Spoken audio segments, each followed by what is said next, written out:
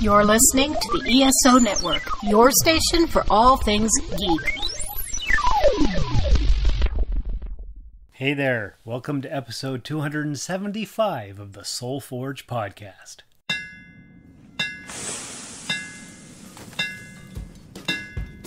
Welcome to the Soul Forge, a place of silent mystery, quiet contemplation, and outright mayhem. Join your host, Shawn Vanderloo, as he guides you through the adventures of living.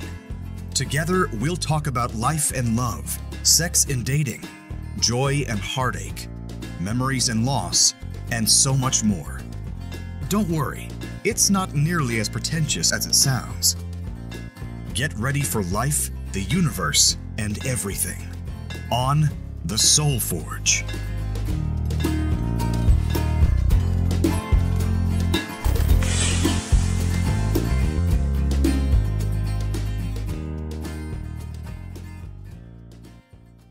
Hey, gang, welcome back to the show. It's Shawn, and with me this week is special guest Melissa. How are you today, Melissa? I'm good. How are you? I'm pretty good.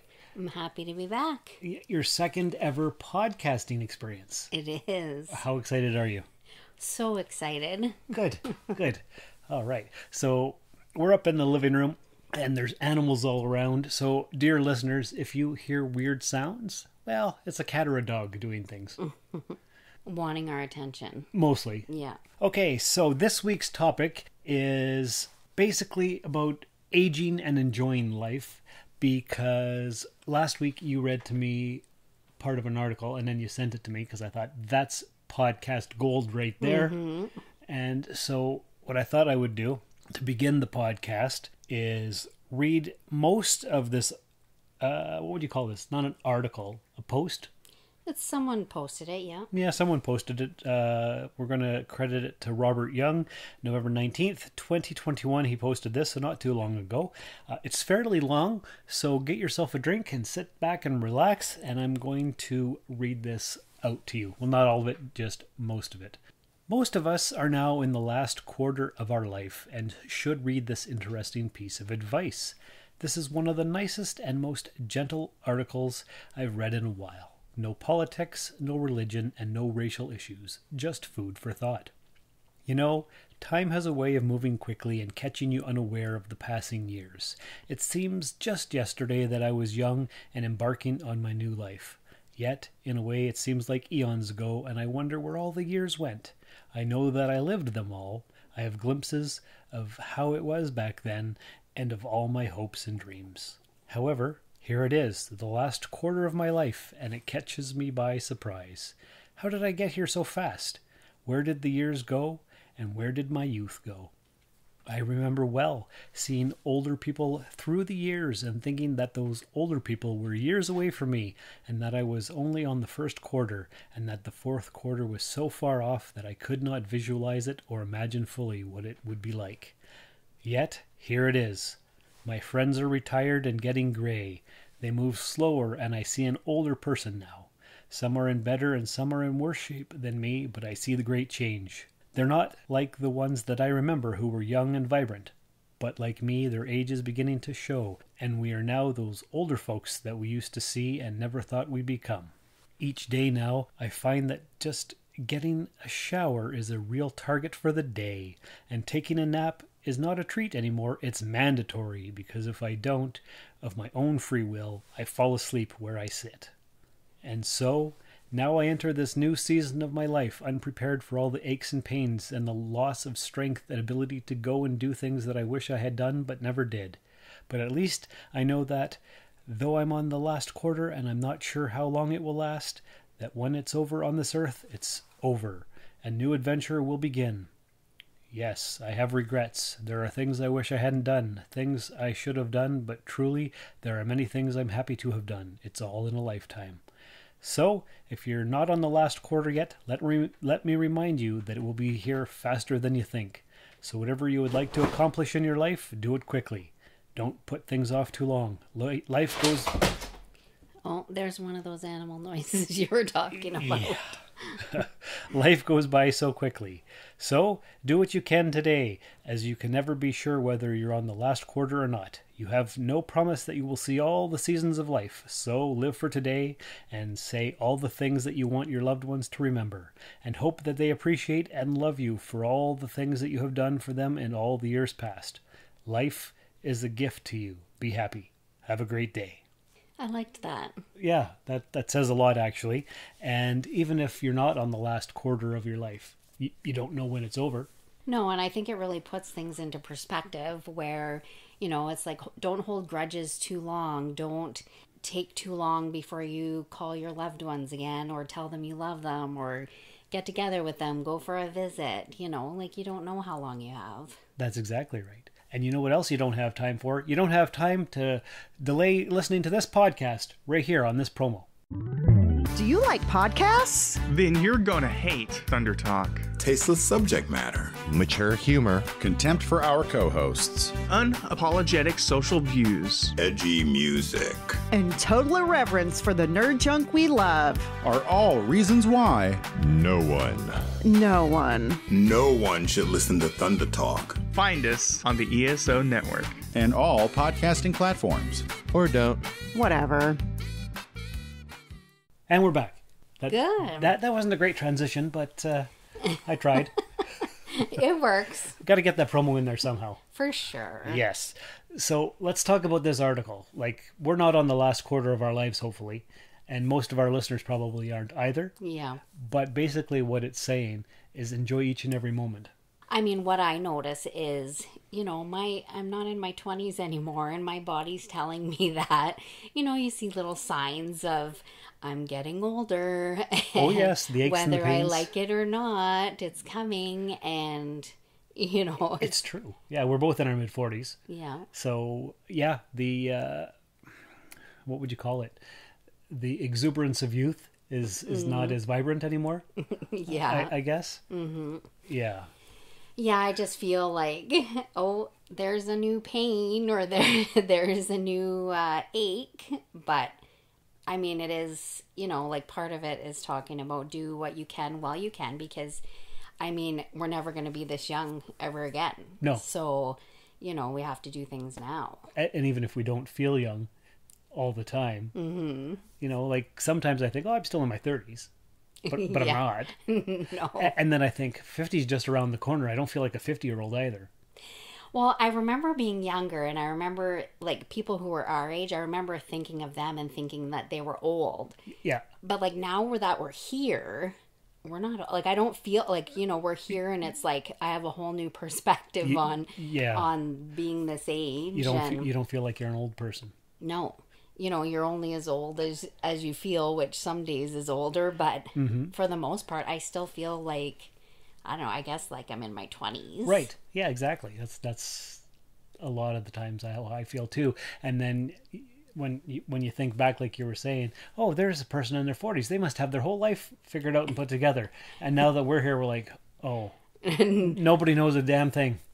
You know you think like oh that's that's an adult you know they must know it all have it all understand it all They've been through everything. So not the case. no, that's like when you look around for an adult and then you realize you're an adult, Yeah. and then you look for an adultier adult.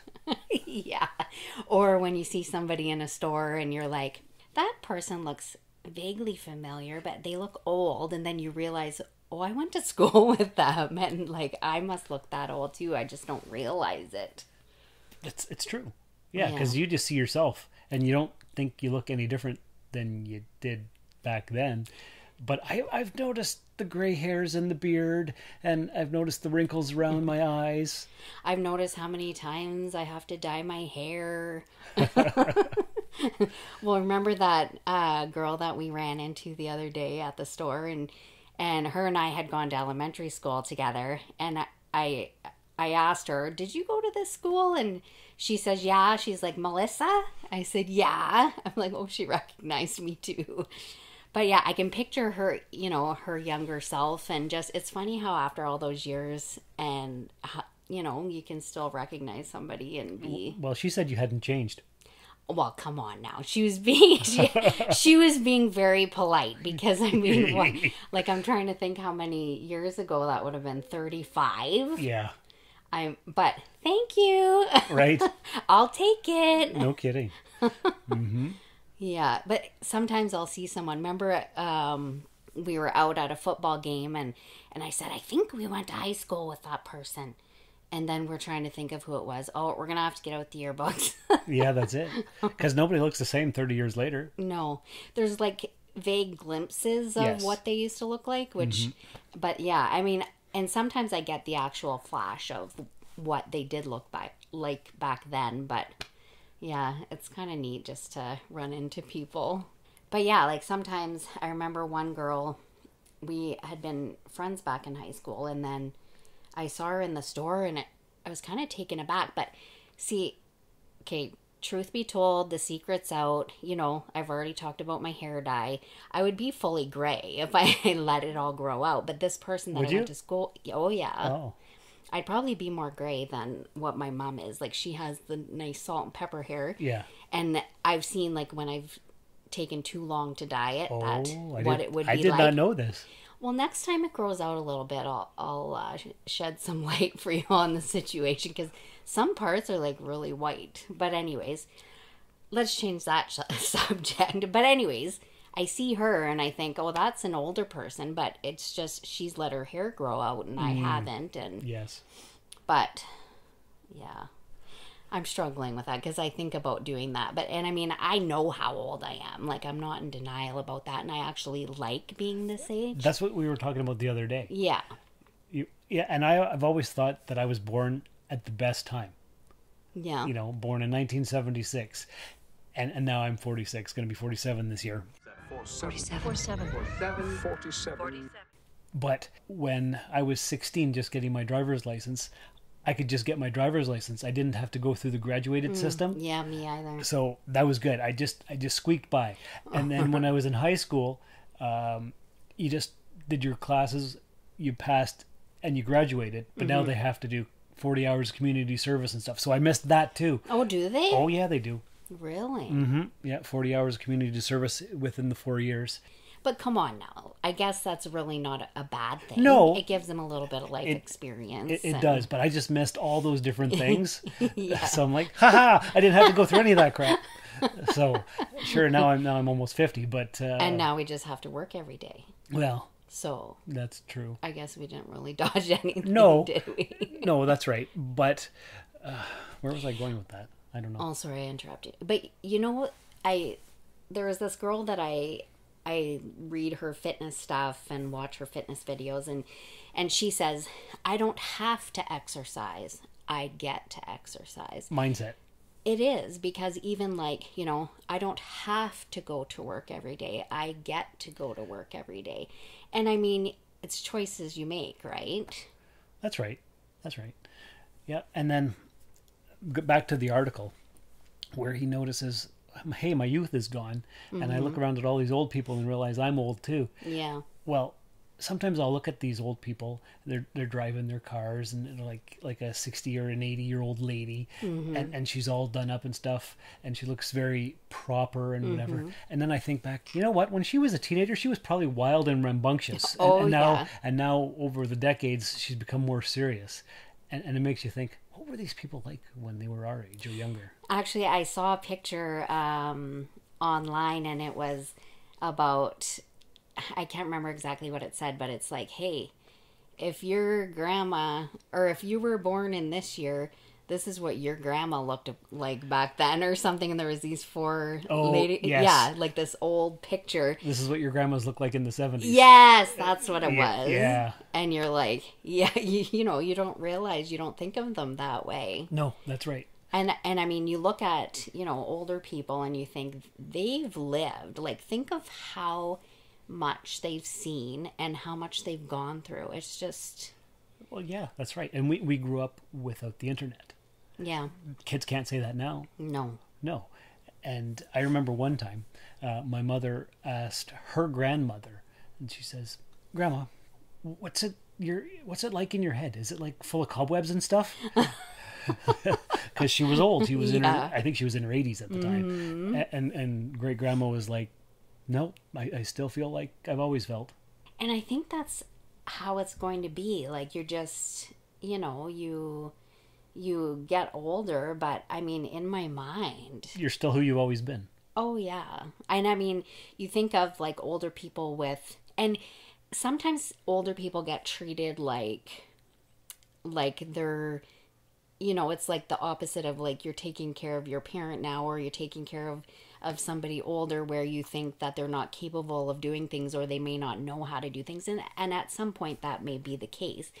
But they don't get the respect that they deserve.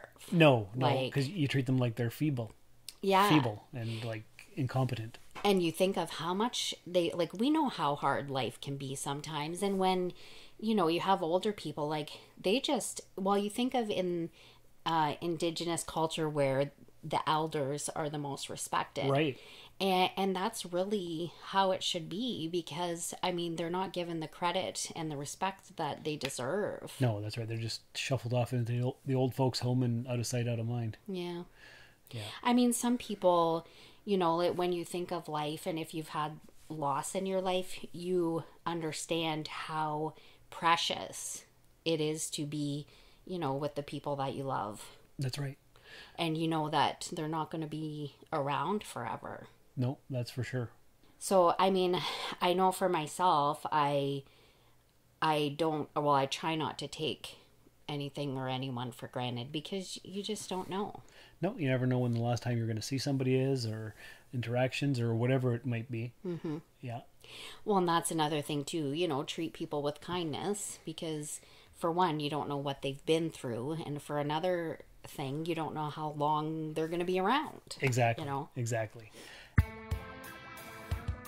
Everyone these days could use a little support, and your friends at the ESO Network are no different. With the ESO Network Patreon, the cool thing is, is when you help support us, it's you who will benefit. With four tiers starting for as little as 25 cents a week, you can listen to some of your favorite network podcasts early, hear exclusive content, maybe get some ESO swag, or even possibly take a shot at the geek seat. All you need to do is sign up at patreon.com backslash ESO network. To do a tangent, like we were talking about before we started recording, Mhm. don't save anything for good. Right. Like my grandma would say, "Oh, I can't use that. It's too nice." Exactly, exactly. And my mom had the same thing. She was Mhm. like, "Oh, that's the good stuff," and then and then she would try to change that, and she'd say things like, "Never save anything for good because good never comes. It's always good." Mhm. And and I still have that thing where that's my favorite coffee mug, so I'm not going to use it in case I Mhm. break it. Yeah. Or I'm not going to wear my favorite T-shirt in case it gets a stain on it, and then I can't wear it anymore. Mhm. And I got to keep reminding myself, no, it's okay to use the things that you like.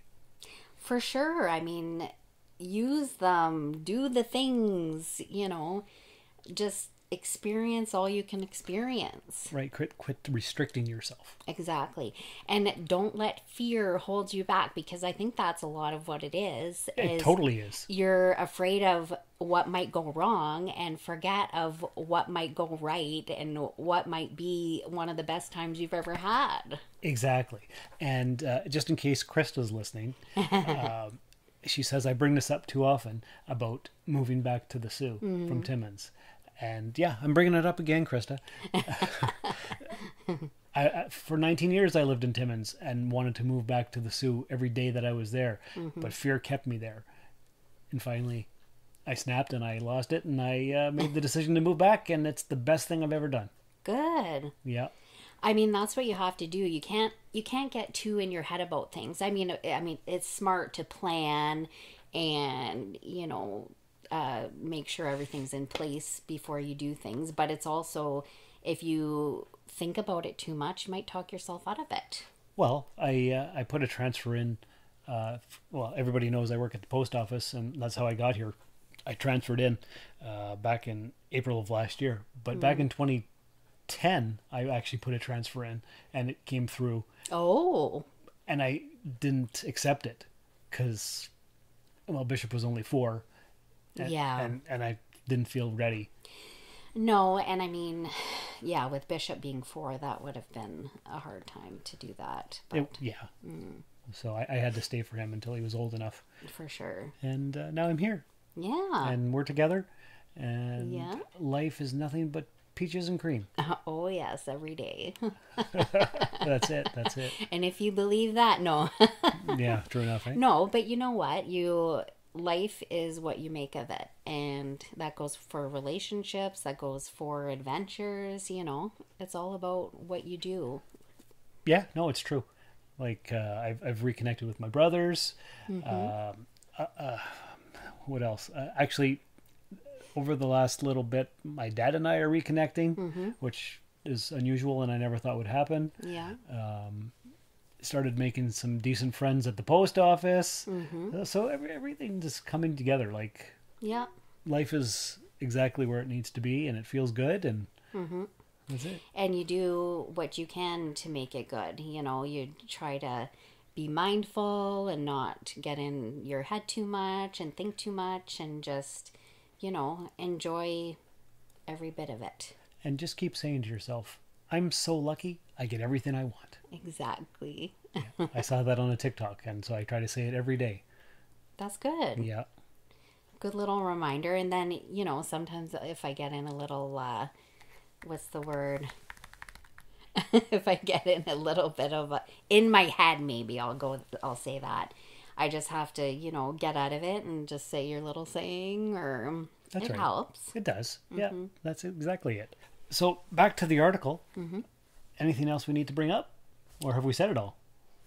I'm sure there's more to say, but there's also more podcasts to come. There are definitely more podcasts to come. That is quite true. Mm-hmm.